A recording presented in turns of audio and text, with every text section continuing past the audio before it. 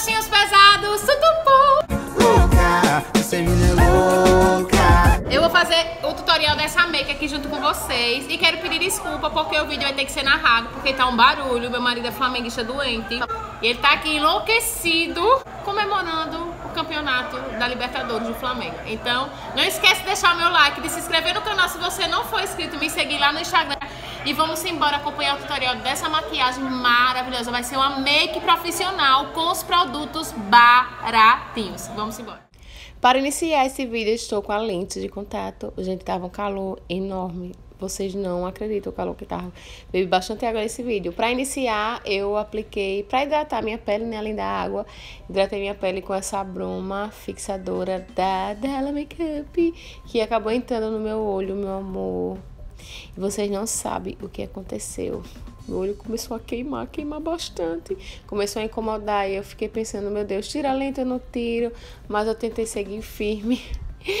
Preparei a minha sobrancelha. Eu tô usando agora essa paletinha aí da Belly Angel, que ela tem vários tons de vermelho. Aí eu escolhi assim um bem aleatório para fazer minha sobrancelha e eu amei, já é meu favorito da vida. Passei a pastinha, pintei para cima, como eu faço sempre. Tem um vídeo aqui no canal ensinando como fazer sobrancelha. Se não sair, vai sair ainda. Eu vou pular essa parte porque é bem, bem pessoal a sobrancelha. A gente não tava aguentando mês, um real. Lavei meu olho com soro, tava queimando muito, muito, muito. E eu me segurando para não tirar essa lente. Aí, o que foi que eu fiz? Peguei o diluidor, né? Porque esse corretivo já saiu um, um, uma resenha dele aqui no canal. Ele é muito, muito duro, muito seco. E eu tive que diluir ele para aplicar. Contornei toda a parte inferior da minha sobrancelha e preenchi minha pálpebra. Como eu faço sempre. Isso aí não tem segredo nenhum. Venho com a esponjinha, do acabamento, tiro o excesso do produto. Deixo tudo bem, bem, bem, bem espalhadinho para não ficar acumulando a sombra, não acumular o corretivo. Aí é as duas makes que eu me inspirei, meu marido escolheu essa aí de baixo, foi a que eu tentei fazer, né? A verdade é essa. Eu comecei com um tonzinho de laranja da paleta SP Colors, eu vou mostrar daqui a pouco, eu mostro ela. É a de algumas, muitas cores, muitas cores. Eu fiz esse formatinho de C aí. E quero dizer a vocês que todos os produtinhos é lá da lojinha Mais Amor. Vou deixar aqui o link do Instagram da loja, que ela entrega para todo o Brasil e é tudo baratinho. Aí fiz esse formatinho de C, que eu não tenho muito costume de fazer, né? Fui tentar aí uma make bem profissa, fui esfumando. Primeiro eu depositei a sombra laranja para depois esfumar, porque eu acho que a pigmentação fica bem melhor quando você aplica e depois esfuma. Esfumei até a sobrancelha mesmo. Olha a paletinha fofíssima. Veio com esse tom de marrom mais escuro. Coloco no cantinho externo. Não invado muito esse laranja. É bem no cantinho, mesmo sem subir tanto do côncavo. Eu vou depositando, você pode ver aí, eu deposito. Não chego já esfumando, deposito. Pra pegar bem a pigmentação da sombra, ó com esse pincelzinho da Dye Makeup 132. Ele é maravilhoso, gente. Se você tiver condições de investir, investe nesse pincel. Aí venho com esse tom de marrom um pouco mais claro e vou esfumando a bordinha desse marrom escuro, que a gente não pode esfumar com a mesma cor, acaba ficando tudo manchado. É técnicas de profissa, meu amor, que eu estou aprendendo aqui no YouTube. Aí vou aumentando um pouquinho do meu C, não chego até o início da sobrancelha, como eu fico com laranja, vou morrendo só aí, só para dar esfumadinha mesmo e dar mais profundidade esse laranja pra gente fazer essa degradê, pra ficar um, um aspecto natural. Volto com laranja da paletinha e vou aplicando aí na diagonal, na minha pálpebra e deixando sempre o cantinho interno bem abertão porque ela tem essa parte bem clara. Vou caprichando bem, viu, gente? E não esqueça de se hidratar, beber água também. Hidratação de dentro para fora. Molho o pincelzinho com a mesma bruma, né? Que entrou no meu olho. E venho com a sombrinha iluminadora da paleta também da SP Color. Sempre essa paletinha, só estou usando essa paletinha. Aí eu venho com esse fixador de glitter da Vult, né? Que pode ser usado para glitter, para pigmento. Depois eu venho com o pincelzinho para ficar mais preciso, que eu acho que eu espalhei demais. E coloco esse pigmentinho, é o da Playboy, é o, a cor 1. Gente, esse pigmento é bem baratinho e ele é lindo, lindo, lindo. Já mostrei várias vezes ele aqui no canal.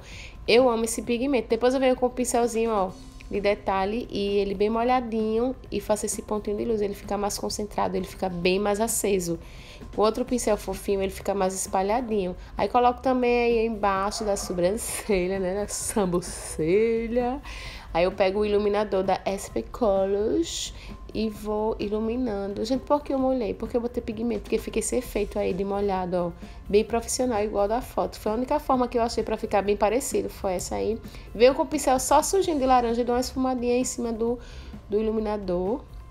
Aí agora essa parte, minha gente, eu tive dor de cabeça. Eu peguei. A única coisa cara desse vídeo é esse delineador e o blush da MAC. Mas eu mostrei outra opção, né? Vamos focar aqui. Eu tentei fazer esse delineado bem, bem alto, bem na diagonal, com esse pincel de batom, porque eu não tinha um pincel fininho. Meu pincel fininho de delineado eu perdi, não sei onde eu coloquei, meu Deus. Aí eu tentei fazer assim, fica um lado bom, um lado ruim. Aí já no finalzinho eu pego um pincel lápis, começo a esfumar antes que seque, porque se esse delineador secar, meu amor, ele não sai mais nunca da tua cara. Aí fiz do outro, do outro lado, vocês podem olhar que esse lado aí ficou bem melhor, né? Mais retinho. Fiz o mesmo esquema, botei um pouquinho de sombra preta no cantinho, fui só depositando, que a gente esfuma, acaba saindo a pigmentação.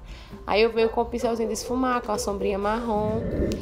Aí agora eu vou pra, para a pele na pele eu tô usando esse tônico da Ruby Rose. Lembra que eu hidratei no começo do vídeo é, com o Magic Fix, ele servia para fixar a maquiagem, mas eu acabei esquecendo, eu tava com muito calor, tava sentindo minha pele suja, oleosa.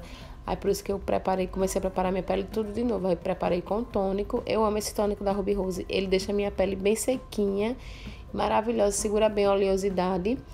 Aí eu aproveitei, né, que eu vou fazer minha pele e peguei os cílios para deixar ele prontinho. Logo eu boto aí, ó, tiro a medida para ver se é precisa, precisa cortar ou não. Eu corto sempre os meus cílios, porque eu sempre acho que tá incomodando uma pontinha ou outra.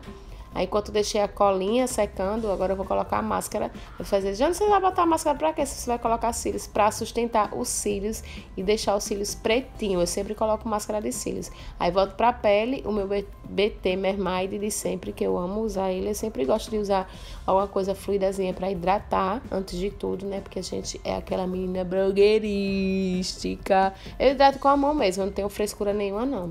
Eu sou do lance de pincel, pincel, pincel para tudo, não em mim, eu boto com a mão mesmo. Aí veio com o meu ventiladorzinho maravilhoso que eu ganhei. Foi a melhor coisa que eu ganhei na minha vida.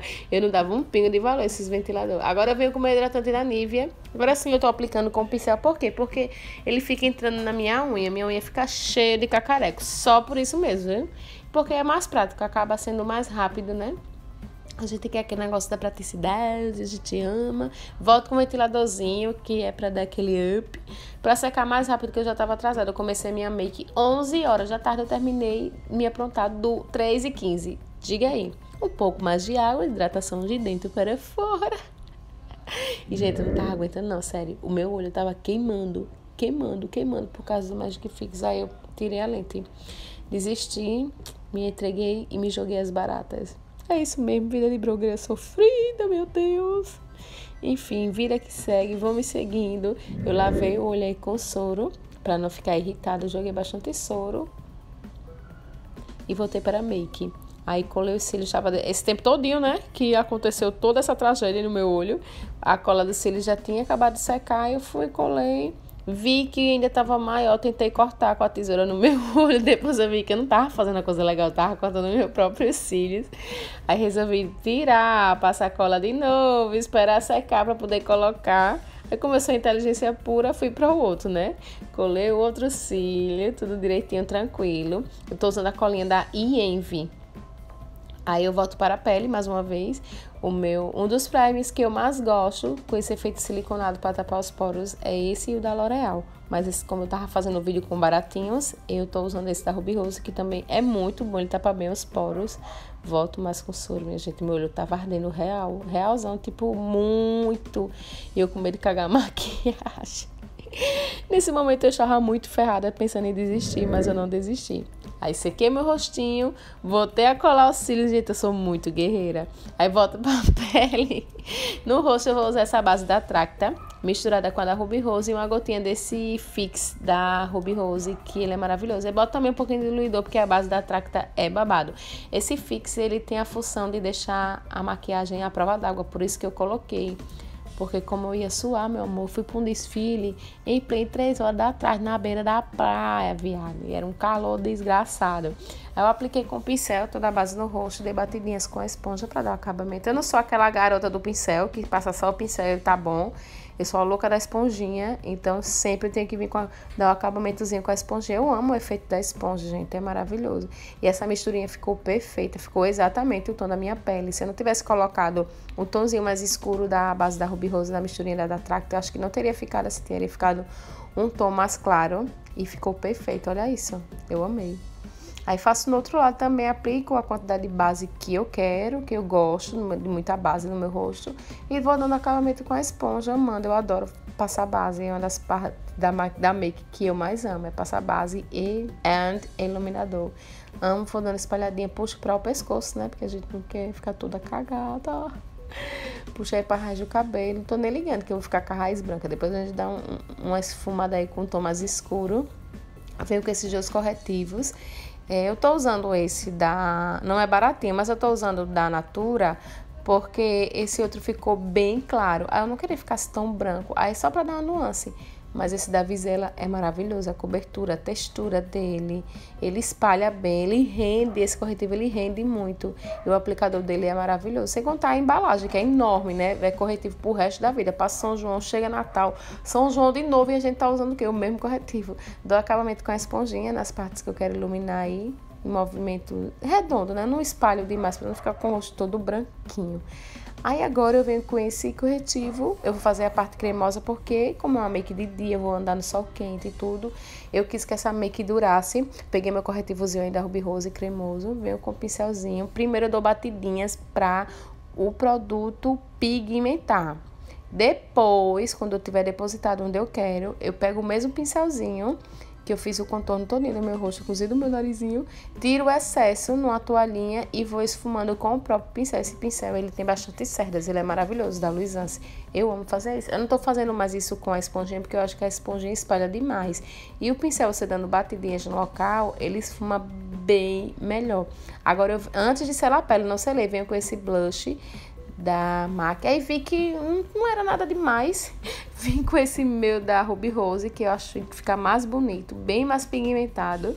Pra vocês verem que o baratinho, né, gente? Aquele baratinho que surpreende. Aí veio com o iluminador também, ainda sem salar a pele, o iluminador da Bruna Tavares. Eu poderia vir com outro baratinho, sim, mas eu resolvi pegar esse da Bruna porque eu tava usando sempre os mesmos produtos. Então eu queria variar um pouco, mas eu tenho vários iluminadores bem baratinhos que são incríveis, tanto quanto da Bruna. Aí tiro o excesso aí embaixo da beirada do zóio, né? Pra poder selar, venho com um pincelzinho bem pequenininho, que eu tô usando técnicas de maquiadora, com esse pincel bem pequenininho. E o pozinho também da Bruna Tavares, pra não usar o da Playboy de sempre, que eu só uso da Playboy. Aí dou uma seladinha aí pra não ficar nada marcada, pra não ficar aquelas preguinhas. Depois eu venho com o pincel grandinho e selo todo o meu rosto. Vou selando aí a testa, selo o bigodinho, o queixo embaixo do contorno, selo bem seladinho, que é pra quando a gente for tirar aquela foto com o amiguinho, dar um beijo e um abraço, a gente não deixar a metade da cara, né? Na camisa dos outros. Agora eu vou selar meu contorno com essa paletinha também, que é bem baratinha, da Belly Angel. Amo, amo essas cores. Eu dou uma seladinha bem de leve, na verdade, né? Não aplico muito produto não, pra não ficar tão escuro e não ficar aquela chinelada de contorno. Com o pincel bem, bem leve de esfumar, vou esfumando. E o meu nariz de Michael Jackson, que é a minha marca principal, sempre faz esse nariz troncho, meu Deus. Um dia eu aprendo, um dia. E agora, pra juntar tudo isso, virar uma massa só, eu volto com o Fix da Dala e o meu ventiladorzinho, né? Que é pra secar mais rápido, que a racha tava tão atrasada. Meu Deus, tava desesperada já. Aí com a mesma paletenda que eu continuei usando ela, peguei o mesmo marronzinho escuro que eu escureci o cantinho externo do olho, eu coloco aí na linha, na parte inferior, nos cílios inferiores, vou esfumando, depois eu venho com o marrom mais claro, dou uma esfumadinha ainda nas bordas. E com a sombra clarinha, eu coloco aí no cantinho da lágrima para fazer esse efeito. Venho com a máscara de cílios para dar o acabamento, né? Porque a gente é aquela garota muito profissional, amiguinha. Eu esqueci de passar um lápis de olho, mas enfim, vida que segue. Esqueci também de cobrir a cola da, dos cílios. Mas se eu não tivesse esquecido, não seria eu. Fiquei em dúvida no batom, mas depois eu decidi usar esse da Playboy, que é bem baratinho também. Foi R$ 9,90. Arrasei muito nessa make, não foi meus rostinhos. Beijos e vai ter a finalização do vídeo.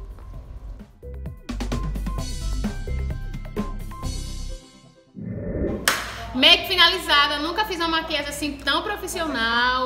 Confesso que eu tive muito trabalho, confesso que eu me bananei, que eu me perdi. Pra vocês deve estar parecendo que tá muito, muito claro, mas não está, gente. Tá exatamente o tom da minha pele. Olha esse iluminado. Uma make muito bonita. Eu não gosto de usar tons de rosa na bochecha, mas eu usei porque, né? Não sei, eu quis fazer uma coisa diferente, usar produtos que eu nunca tinha usado. Espero muito que vocês tenham gostado.